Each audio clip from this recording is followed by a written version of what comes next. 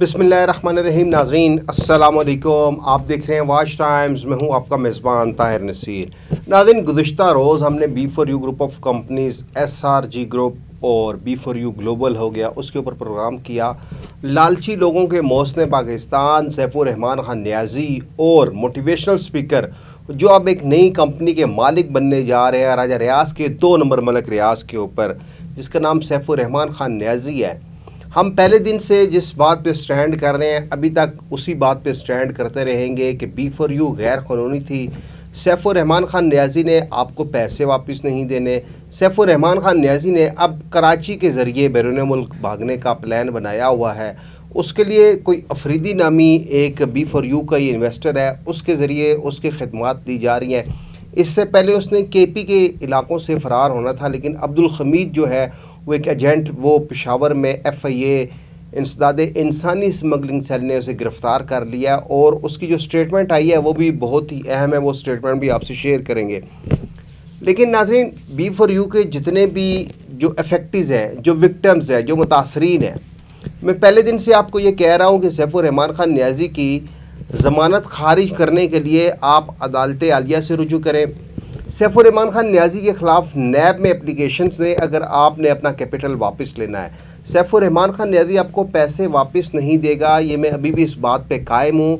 इस वक्त भी सैफुररहमान खान न्याजी पंद्रह अरब रुपया कैश लेके घूम रहा है और इसके अलावा मैं आपको ये भी बता दूँ कि जो उसकी बेनामी जायदादें थीं, जिसको उसने अपने भाई के, भाई से भी ख़रीदवाया था, फिर एक उसका ससुर है, उसके ज़रिए एक और शख्स जो सामने आया है, उनके ज़रिए उसने बेनामी जायदादें बनाई। अब उनको फ़रोख्त करके पैसा यूके मुंतकिल हो रहा है, क्योंकि सैफुररहमान खान न्याजी के पास भी ड्यूल नेशनलिटी है। आज बात करेंगे सैफुररहमान खान न्याजी के जो मोटिवेशनल स्पीकर हैं, राजा रियाज की। राजा रियाज जिस तरह आप लोगों को ट्रक की बत्ती के पीछे लगा रहे थे, अब राजा रियाज साहब ने एक तो धमकी मेज़ लहजे में एक मैसेज किया और फिर दूसरा उन्होंने बहुत सी बातें की।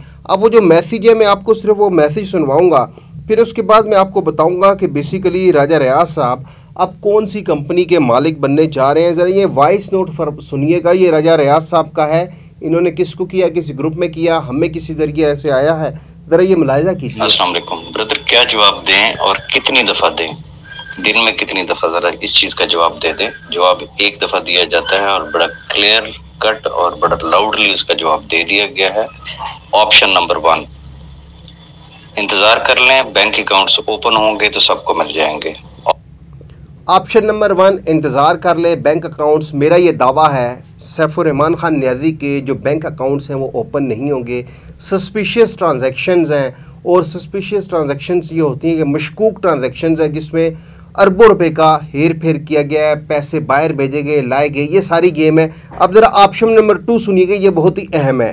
ऑप्शन नंबर टू जहाँ पे हम शिफ्ट करना चाह रहे हैं, वहाँ पे किसी को नेटवर्किंग नहीं करनी होगी, किसी को कुछ करने की ज़रूरत नहीं होगी। सिर्फ़ उनके प्रॉफिट्स मिलेंगे और उस वक्त तक मिले, मिलते रहेंगे, जब तक सैब भाई के अकाउंट्स ओपन नहीं होते। हम जहाँ पे शिफ्ट करना चाह रहे हैं, आपको, क्योंकि मैं कहता हूँ, पाकिस्तानी आवाम की यादाश्त कमज़ोर है। एक कैप्टन अरसलान हुआ करता था, उसने भी बी आर वी बनाई थी, वो एक ऐप जी बनाई थी, उसमें भी उसने, वो भी इन्हीं का भाई था, इन्हीं का राइट हैंड था, उसने जिसने स्केम किया। अब जब आपको दूसरी जगह शिफ्ट किया जाएगा वैलिडेस उस कंपनी का नाम है और एक और कंपनी जो सामने आ रही है, वो यूके में एक बंदा चला रहा है, उसके हवाले से राजा रियाज ने एक प्रोग्राम भी किया था। अब उस कंपनी में ये लोग आपको शिफ्ट करेंगे और आप कहेंगे, जी, आप ऐसा करें, आप एक हज़ार डॉलर नहीं, आप सौ सौ डॉलर जो है, वो आप इन्वेस्टमेंट करें ताकि आपका प्रॉफिट जनरेट होना शुरू हो। जो बी फॉर यू के डूबे हुए पैसे हैं, वो आपको वापस मिले। फिर होना क्या है? ये मेरी बात नोट कर लीजिएगा। मैं हवाओं में तीर नहीं चलाता, मैं तो सिर्फ़ वो काम करता हूँ जो रियलिटी हमें सामने आती है, हमें बताई जाती है, मुख्तलिफ़ सोर्सेज से हम कन्फर्म करते हैं। आपको मालूम है, आल पाकिस्तान प्रोजेक्ट्स का हमने कहा जी, कराची से ऐप बनाई जा रही है। उन्होंने वो ड्रामा शुरू किया। आदम अमीन चौधरी ने अपने ऊपर फायरिंग करवाई और वो ताकि, अब देख लें कि आदम अमीन चौधरी के जो विक्टम्स हैं, वो भी खामोश हो चुके हैं। ये बहुत बड़े नुसरबाज हैं, इनका इस तरह की नुसरबाजी करना बनता भी है क्योंकि इन्होंने पैसे जो आवाम से लूटे होते हैं। अब जिस और वेबसाइट के ऊपर ये आपको लेके जाएँगे, वो वेबसाइट भी वो इसी तरह होगी कि दस दस डॉलर सौ सौ डॉलर आप इन्वेस्टमेंट करें, आपकी बी फॉर यू की रिकवरी होगी, फिर वो यही होगा कि वो कंपनी वाला भी भाग जाएगा, वो वेबसाइट भी ब्लॉक हो जाएगी। इधर ऑप्शन नंबर थ्री तीन सुने। ऑप्शन नंबर थ्री धरना देना है रैली निकालनी है कोर्ट्स में जाना है जो जिसको मुनासिब लगता है वो अगर उससे पहले ले सकता है तो भाई ले ले।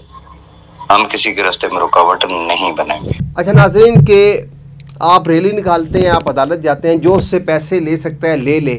ये होता है धमकी मेज़ लहजा। ये राजा रियाज साहब ने आपको धमकाया है कि आप में इतने गेट्स नहीं है कि आप रहमान खान न्याजी जैसे नौसरबाज से पैसे ले सकें।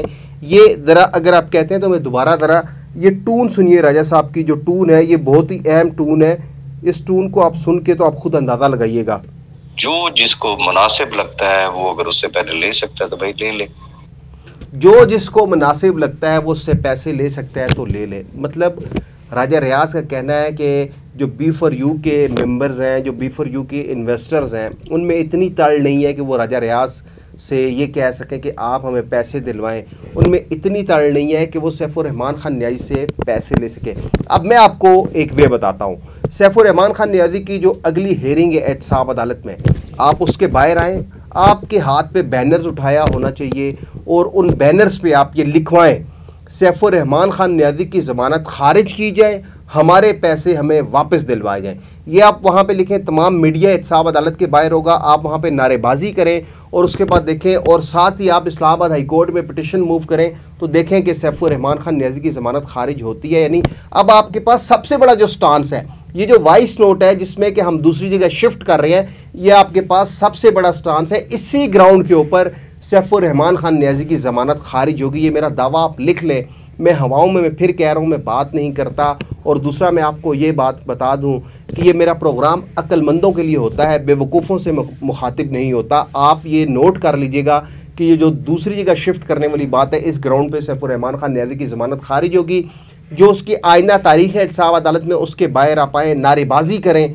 आप बैनर्स उठा के लाएँ, प्ले कार्ड उठा के लाएँ, उसके ऊपर लिखें। कि सैफुररहमान खान न्याजी की ज़मानत खारिज की जाए, हमें हमारा हक दिलवाया जाए। आप देखें कि होता क्या अब अगला वॉइस नोट जरा मुलायजा कीजिएगा, राजा रियाज साहब का वो क्या फरमा रहे हैं? अस्सलाम जी, उसकी श्योरिटी नैब है, उसकी श्योरिटी गवर्नमेंट ऑफ़ पाकिस्तान है, जो एडमिट कर रही है कि जितना उसने देना है, उतना अल्हम्दुलिल्लाह उसके पास पड़ा हुआ है और उसके अटेस्टेड कॉपीज जो है वो ग्रुपों में दस दफ़ा शेयर कर चुके हैं हम लोग। अच्छा नैब है शोल्टी, जितना उसने देना है तो राजा रियाज साहब, अभी तो सिर्फ़ कुछ इफ़ेक्टिव गए हैं। ये तमाम इफ़ेक्टिव अगर इकट्ठे हो गए, इन्होंने नैब में दरख्वास्त दे दी तो लग आपको भी लो जानिए कि हुआ आपके साथ क्या है। मैं दोबारा से बी फॉर यू के उन गरीब मम्बरान को, मैं अपने इस प्लेटफॉर्म से दावा कर रहा हूँ। आप नैब में सैफुररहमान खान न्याजी के ख़िलाफ़ अप्लीकेशन दें, आपका जब क्लेम जो है, वो अप्रूव हो जाएगा। उसके बाद नैब से पैसे लेके देना वाच टाइम्स की टीम का काम है वाच टाइम्स की टीम आपको इस्लामाबाद की एहतसाब अदालत में मिलेगी। जब सैफुररहमान खान न्याजी की तारीख होगी सैफुररहमान खान न्याजी की तो वाच टाइम्स की टीम आपको वहाँ पर मिलेगी। इस्लामाबाद हाई कोर्ट में सैफुररहमान खान न्याज, न्याजी की तारीख होगी तो आपको वाच टाइम्स की टीम वहाँ पर मिलेगी। आप सिर्फ़ शुरुआत करें। आपको नैब से पैसे निकलवा के देना वाच टाइम्स की टीम का काम है। आप क्लेम जमा करवाएँ। क्लेम आपके अप्रूव होंगे, उसके बाद आपको बताएँगे कि आपके पैसे कैसे वापस मिलेंगे, क्योंकि जितनी ज़्यादा दरखास्तें नैब में जाएँगी, उतनी जल्दी आपको पैसे मिलेंगे। जिस तरह राजा रियाज ने कहा कि नैब भी एडमिट कर रहा है कि जितने उसने पैसे देने हैं, उतने उसके अकाउंट में हैं। तो राजा रियाज साहब 116 अरब रुपए का स्कीम है। ठीक है, आपने अटेस्टेड कापी दिखाई है, वो कहाँ पे हैं, हमें भी दिखाएँ, हम भी पढ़ें ज़रा अटेस्टेड कापी कौन सी है? नहीं तो कल हम अपने प्रोग्राम में चलाएँगे, जो नैब ने रिप्लाई जमा करवाया था इस्लामाबाद हाई कोर्ट में, वो भी अटेस्टेड कापी होगी, और हम वो जमा करवाएँगे जो सैफुररहमान खान नैदी ने बेल पटिशन मूव की थी, उसमें क्या ग्राउंड्स लिए थे? आप खुदारा लोगों से झूठ मत बोलें बी फॉर यू के जितने भी इमरान हैं, आपसे फिर मैं ये कहूँगा, नैब में अपने क्लेम जमा करवाएँ एहतसाब अदालत में जब रहमान खान न्याजी की तारीख हो, उसके बाहर आके एहतजाजी मुजाहरा करें, रैली निकालें, इस्लामाबाद हाई कोर्ट में रहमान खान न्याजी की दरख्वास्त ज़मानत खारिज करने के लिए अपील करें तो उसकी दरख्वास्त ज़मानत खारिज होगी और आपका कैपिटल आपको वापस मिल जाएगा। नहीं तो याद रखिएगा रहमान खान न्याजी ज़मीनी रास्ते से एक अटैम्प्ट कर चुके हैं दूसरी अटैम्प्ट करने के लिए वो तैयार बैठा हुआ है। उसने अपने घोड़े दरा दिए हैं। जहाँ जहाँ पे उसका हाथ पड़ता है, वो किस तरीके से इस मुल्क से निकलेगा। और तीसरी सबसे अहम बात, राजा रियाज ने खुद कह दिया कि हम किसी और तरफ़ शिफ्ट हो रहे हैं। मतलब किसी और वेबसाइट का लॉलीपॉप आपको देंगे ताकि आप खामोश रहें, खुदारा नैब के पास जाएँ एप्लीकेशन जमा करवाएँ और इस्लामाबाद हाई कोर्ट से सैफुररहमान खान न्याजी की दरख्वास्त जमानत खारिज करने के लिए दरख्वास्त दायर करें। अगले प्रोग्राम तक ले अपने मेज़बान ताहिर नसीर को इजाज़त दीजिए। अल्लाह हाफिज़।